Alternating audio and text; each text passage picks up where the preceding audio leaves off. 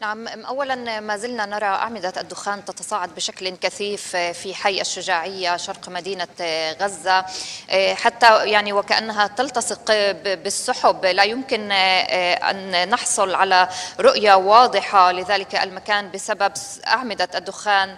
الكثيفة التي نراها هناك في الحي المدفعية الإسرائيلية تقصف بشكل كبير هذه المنطقة. أيضا نسمعها بشكل واضح يعني عن قرب. أيضا قبل قليل قنابل اناره كانت تطلقها إسرائيل نحو مناطق في منتصف أو في في محافظ في المحافظات الوسطى لقطاع غزة. هذا يعني بأن هنالك أيضا تجري عمليات للجيش الإسرائيلي وأيضا ربما قد يكون أيضا عمليات اشتباك وقنابل الإنارة أيضا هدفها كشف مواقع للجيش الإسرائيلي في تلك المنطقة. ولكن كما قلت هنا المدفعية تضرب بشكل مكثف منطقة الشجاعية وأيضا ربما مناطق أبعد من ذلك إلى الشرق قد تكون استهدافات لوسط مدينة غزة.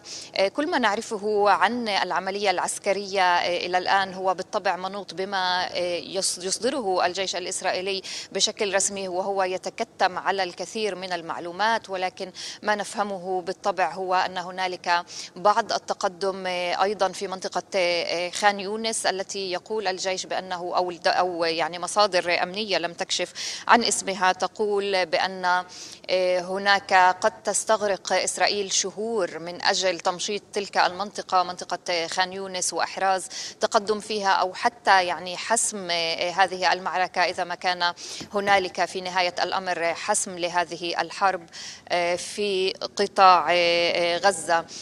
ولكن يعني بالعودة إلى الموضوع السياسي يفترض أن يصل وزير الدفاع الامرريكي لويد أوستن في زيارة ثانية منذ بداية هذه الحرب.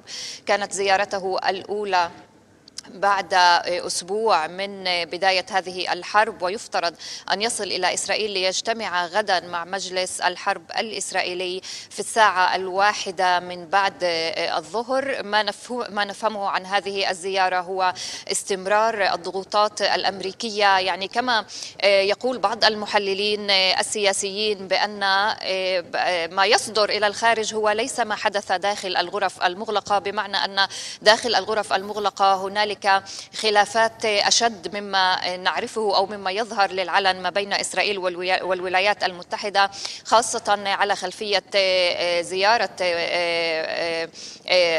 جاك سوليفان إسرائيل قبل خلال اليومين الأخيرين. أيضا يفترض بأنه لويد أوستن يأتي أيضا ليكون هنالك ضغط أكبر من الولايات المتحدة على إسرائيل بشأن المرحلة القادمة من الحرب.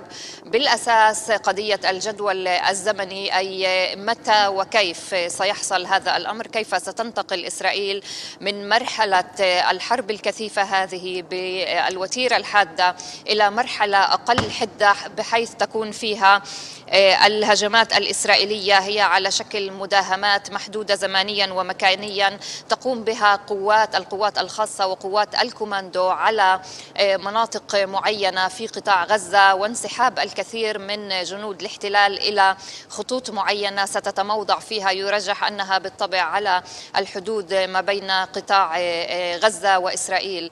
أيضا الولايات المتحدة حسب ما نفهم تريد أن تفهم من إسرائيل ماذا ماذا سيكون بعد هذه الحرب؟ تحدثنا في هذا الموضوع كثيرا. بالأمس قال نتنياهو في خطابه بأن بعد الحرب ما سنراه هو غزة منزوعة السلاح وأننا لن نرى لا فتحستان ولا حمستان بمعنى أنه لا يريد لا إدارة حماس إلى لقطاع غزة ولا إدارة فتح لقطاع غزة. ولكنه لم يقل ماذا يريد هو قال بأنه ستكون سيطرة أمنية إسرائيلية لفترة طويلة.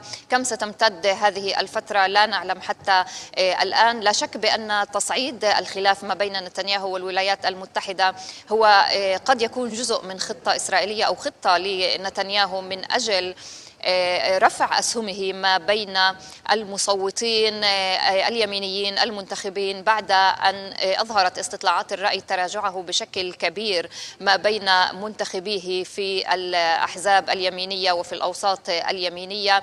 ولذلك هنالك يعني أهداف سياسية أيضا لإطالة أمد هذا الحرب في قطاع غزة بالنسبة لنتنياهو. سنرى كيف آه، ستكون هذه الضغوطات الأمريكية. هل ستكون ضغوطات كبيرة آه، آه، أم لا؟ ولكن بالطبع ربما أهم موضوع الآن بعد إدخال بعد موافقة إسرائيل على زيادة المساعدات الإنسانية إلى قطاع غزة قد يكون قضية استهداف المدنيين وتحذير أمريكي بشأن أعداد الشهداء التي تتصاعد كل يوم بشكل يعني غير مسبوق داخل قطاع غزة. غزة.